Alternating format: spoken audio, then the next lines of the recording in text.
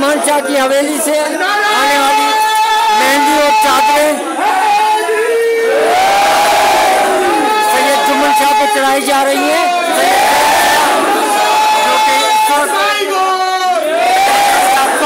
सैयद जुम्मन शाह की रख रहे हैं। खलीफा राजा साहब खानजादा आपको तो